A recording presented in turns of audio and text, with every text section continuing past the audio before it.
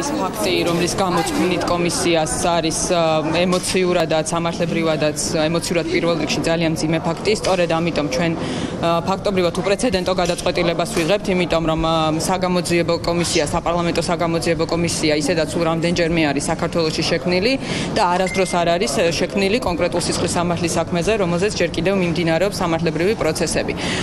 მაგრამ ვინაიდან ასეთი ძიმე არის საზოგადოების დამოკიდებულება, ვინაიდან ამდენი კითხვა არის ამ საქმესთან დაკავშირებით, ჩვენ საქართველოს პარლამენტი ფაქტობრივად იღებს პოლიტიკურ პასუხისგებლობას ამ თემაზე, რომ თავად ჩაიხედოს დეტალებში, თავად გაერკვეს თუ ზუსტად რა მოვლენები განვითარდა და შესაბამისად საზოგადოებას კონდეს შესაძლებლობა, რომ სრულად მიიღოს ამ ყველაფერზე ინფორმაცია და მარცხაჯულება ამ საქმეზე ახსრულდეს. ჩვენ ვთქვით, რომ ამ საქმეზე აუცილებლად ახსრულდება მარცხაჯულება და ეს ნამდვილად ასე იქნება.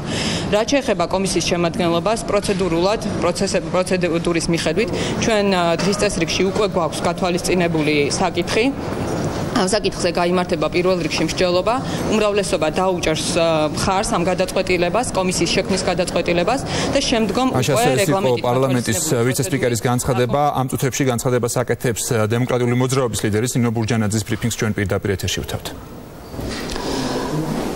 დღევანდელი ფაქტი